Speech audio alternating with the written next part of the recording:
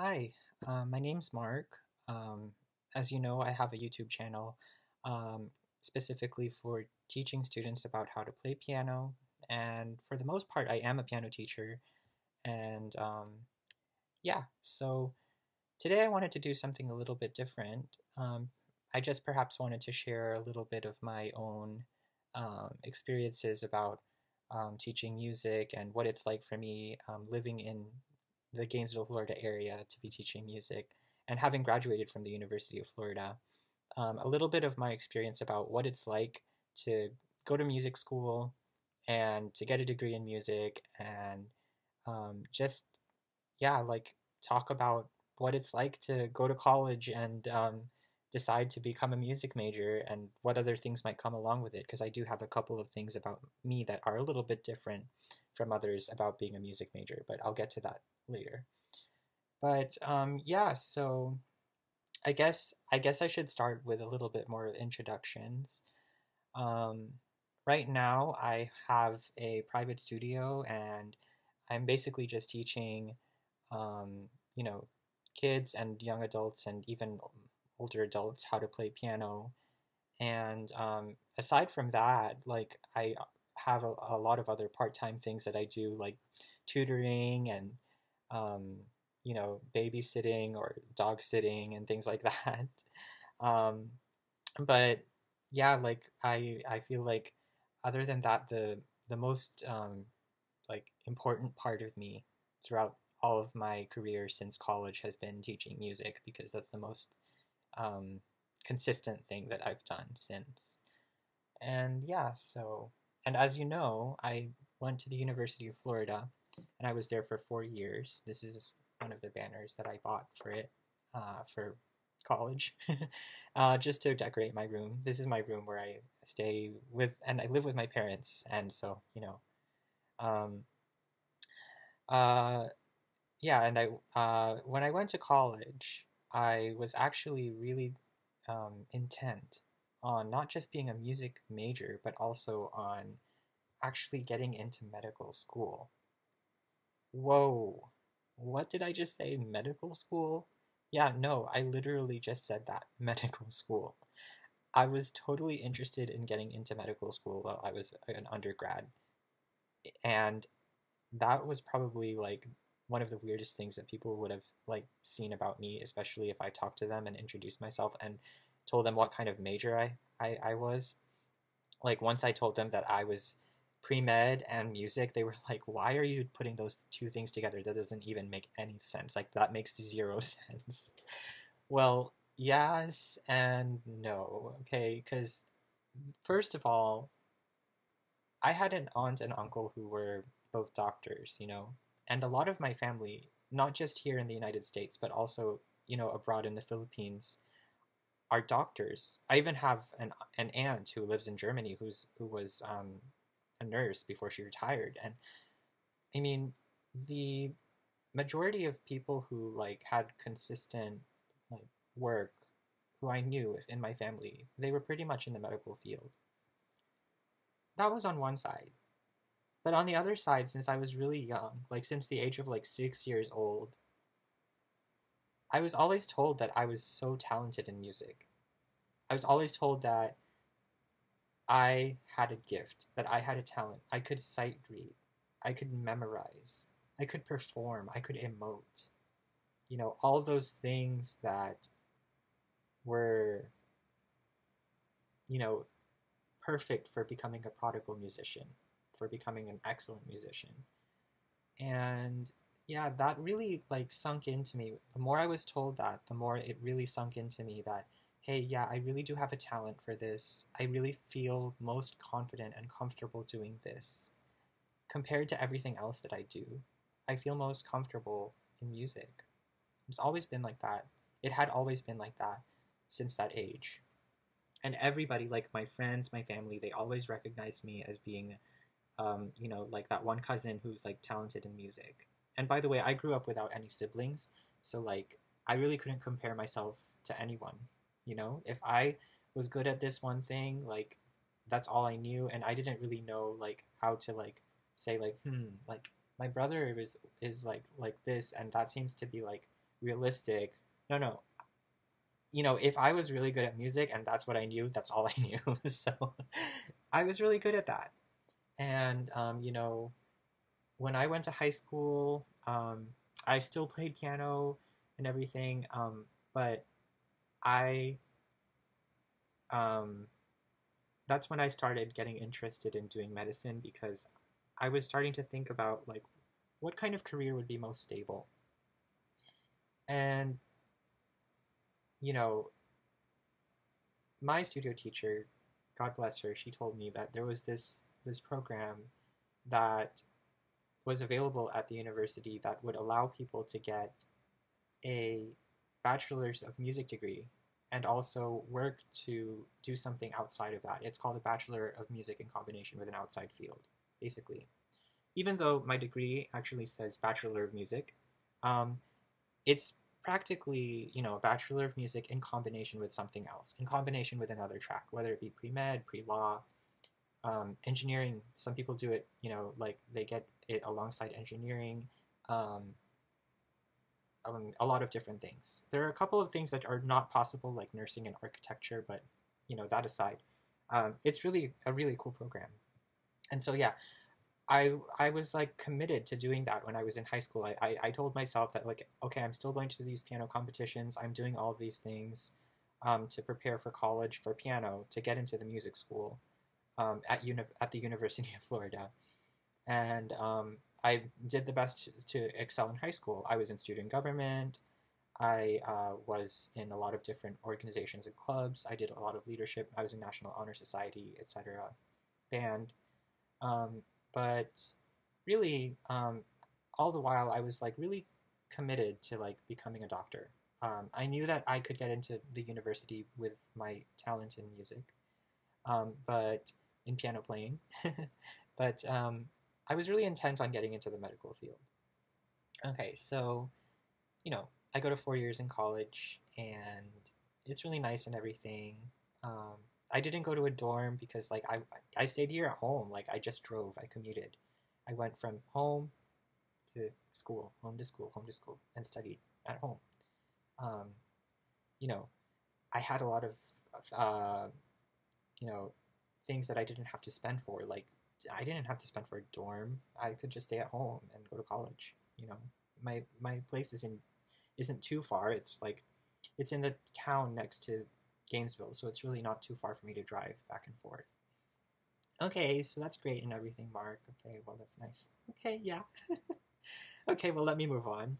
Okay, so after um, you know, um, the first two years of college, I started to realize that my grades weren't as good as I wanted them to be, especially for the BCPM classes, which were the biology, um, chemistry, physics, and math classes. Okay, so if you are interested in being pre med, you have to consider the fact that you have to be ready to get good scores on the eh, good grades in those classes, because even if you do really well in the MCAT, which I you know later on did, um, you can't really expect to get into the best school um, because those courses are really going to define, you know, what kind of student you are to the people who are looking at your application for medical school.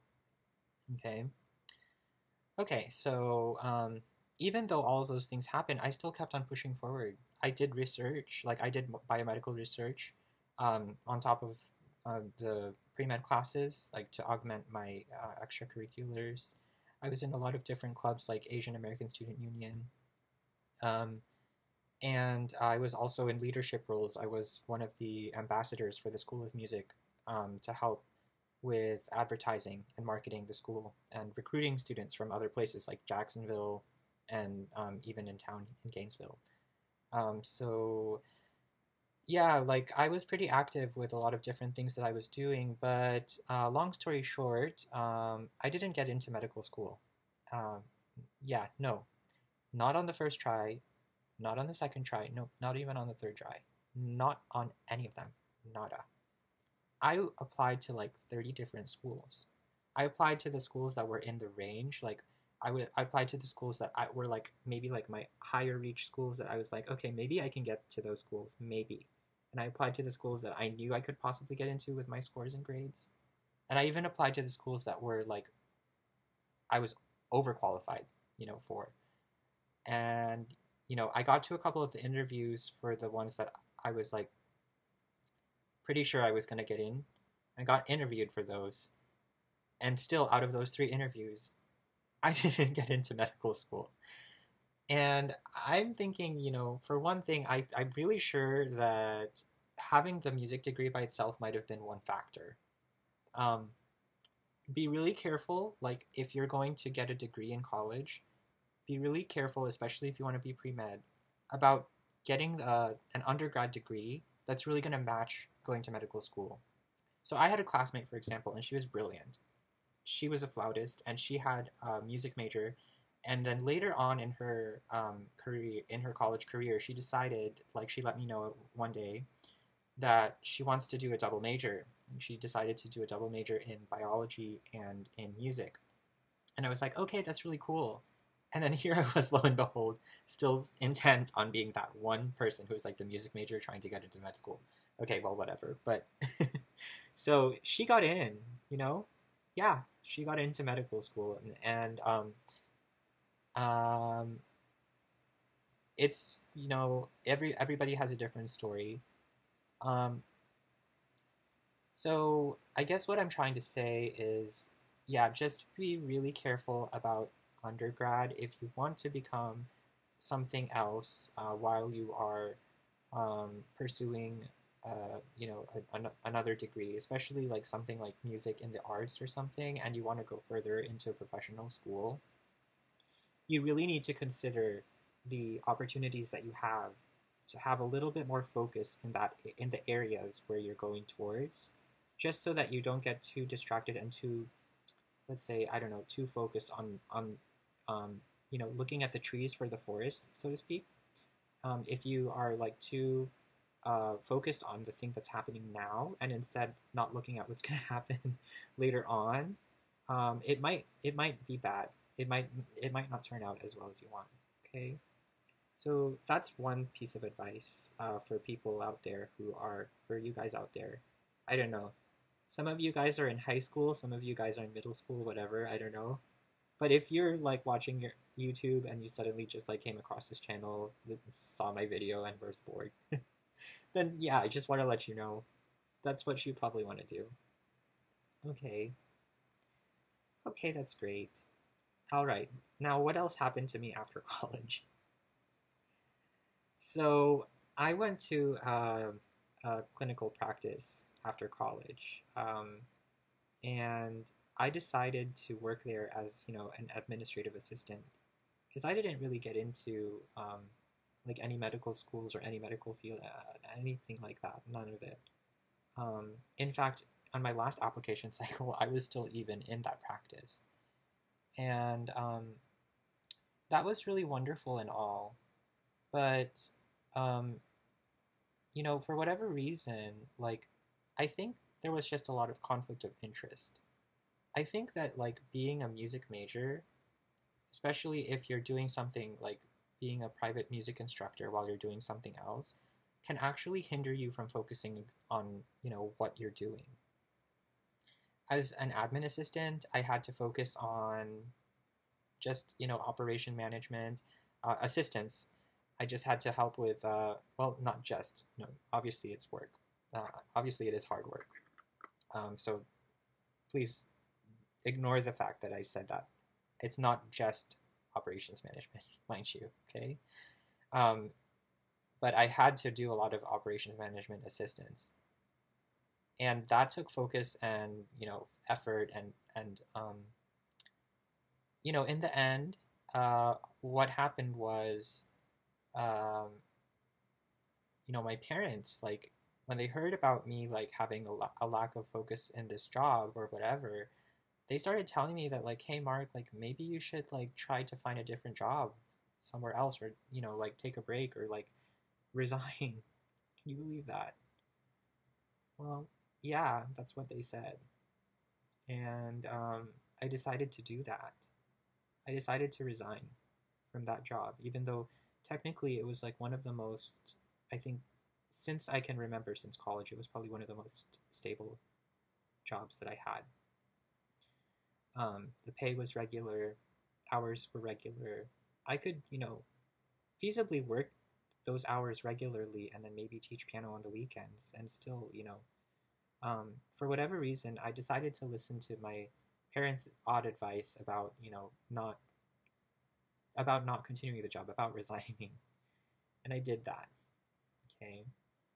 So then there were a couple of months that I didn't have a work. And then later on, I went to um, this other place. I'm not going to say any names about where it is, but I went to this other place for um, uh, to become a to become a waiter, and um, you know for for the time that I was working there it was really great and everything, and I really loved it, and um, there was this time later on that my parents said, "Why don't you we go on vacation? Because it's your grandmother's 90th birthday celebration." And I did. Of course, I did. I mean, it was for my grandmother, and my grandmother at that time was and still is is my only living grandparent and you know i didn't i wouldn't want to miss that okay well that's great but when i went there everything was fine and everything until the whole pandemic started you know i was i was fine there and then in january like not only was there a pand- this pandemic but the week that i was supposed to go back to my job mount taal in like Manila erupted and started spewing ash. And I couldn't get a flight to go back. And you know, technically like my manager said like, "Okay, so if you can't make it back, like I'm going to assume that this is your resignation." So, you know, what could I do? I couldn't really do anything about it.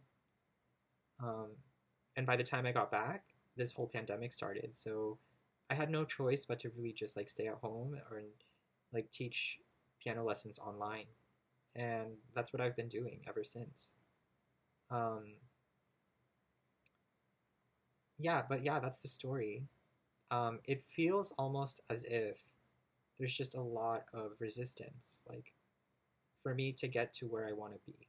Because what I wanted before was clearly like you know to become a doctor, to to study medicine, to to go on and forward into that career. Because I was a high achiever when I was in school. I mean, like, mind you, I was in a, a lot of AP classes, tons of AP classes. I finished a lot of AP classes when I was in school, in high school. Um, and I was always a high achiever before that. In middle school and elementary school, I would always get awards for like being in the top of the class. Um, I read a lot of books. Um, at times, yeah, I would be like really nerdy. I was actually even super nerdy about music. I memorized all the composers. Um, but yeah, I mean, I think right now, um, with the way that things are going, I don't want to be too opinionated. But for anyone out there who's just watching or curious about my channel, I think that the main point of this video is really for some advice about what to do right now if you're in the music field, and also how things are going, like what kind of trends there are right now in the music industry. You know, for one, um, you have to be like constantly uh, involved and in the loop to be, you know, in music these days. Um, you need to stay involved. If you're in choirs, like try to stay involved in choir. Um, if you're taking lessons, like keep up with lessons and also keep in touch with your studio professors once you're done um, studying in college. Um, like right now, I'm looking for a job to uh, work at one of the local music stores here as a piano teacher. And um, be proactive. Like, try your best to um, maintain the energy that you have as a musician to keep your music active. And what does that mean? Like, just keep practicing it. Keep practicing it. And how do you practice that? By teaching, by practicing your by practicing your own songs. Um, sing in choir. If you go to a church, be in the choir. Um, uh, I mean, that's what I do because not only do I play piano, but I sing too. I've been taking, I've been taking voice lessons, and um, I also think that it's really important to just have a positive attitude because, like, with this pandemic happening, and I've already been vaccinated, by the way, and I'm currently like still looking for part-time jobs to do. Um, with the current situation and how things are going, it's just really important to have a positive attitude. That like no matter what el- what is going on, like you have to be positive because a lot of things right now like might seem like they're just getting worse, you know, and that's just the way things are right now. But I mean, you have to have a positive attitude throughout all of it. Um, because I honestly think that like life right now is definitely not like what it was 100 years ago or 200 years ago or 300 years ago. Teaching piano like way back then, like maybe in like Beethoven's time or Schumann's time, was probably different because like you could get a lot of people, like a lot of clients who are interested. But right now it just feels like people might be more interested in other things like I don't know, like staying at home because they don't feel like it's safe to get out of the house or whatever.